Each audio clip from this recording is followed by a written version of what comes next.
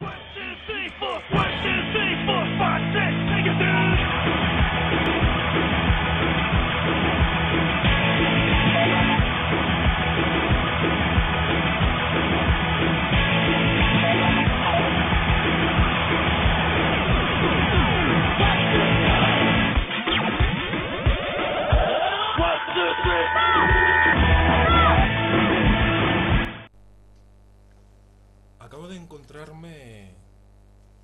Una hostadilla, un comunicado, un escrito, escueto, directo, conciso, en el que se manifiesta una pregunta, ah bueno, escueto, reducido y cortado. No sé si es por su afán ecologista y preservador del medio ambiente, pero la escasez de palabras y su concisión y brevedad quizás también pueda deberse a que carecen de personas o redactores que sepan manifestar de una forma coherente, tanjante y tangible la idea de sus convicciones.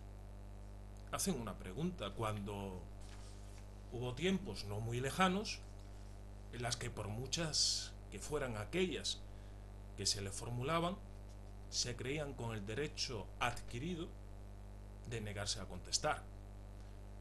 Preguntas que se formulaban, respuestas que no daban, debates que se eludían, publicación de ideas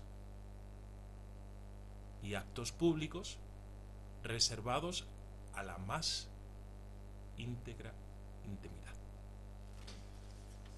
Tras este breve preámbulo, para encontrarnos precisamente paseando en la actualidad por las calles de Nerva y ver una pregunta lanzada al aire, resuelve pensar lo siguiente. Los autores de este comunicado, estricto, reservado, conciso, breve, resumido y recortado, ¿Se han puesto realmente a pensar en la pregunta que formulan?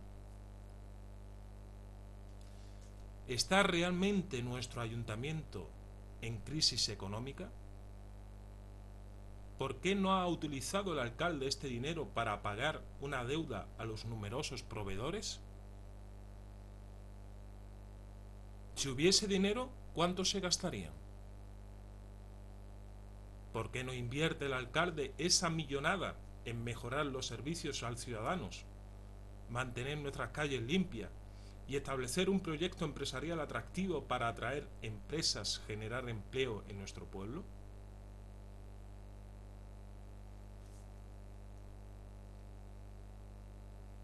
¿Por qué no se formularon todas estas preguntas con anterioridad?